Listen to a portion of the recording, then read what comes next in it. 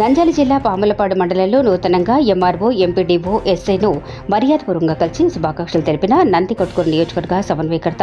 Nallamala Ravikumar Janasena party మండల నాయకులు బత్తుల కిరణ్ రాజు అఖిల్ నవీన్ హర్ష పుల్లయ్య కరగల్ల శ్రీనివాసులు వడాల గోపాలకృష్ణ రోషయ్య నీలం శ్రీను తదితర నాయకులు పాల్గొన్నారు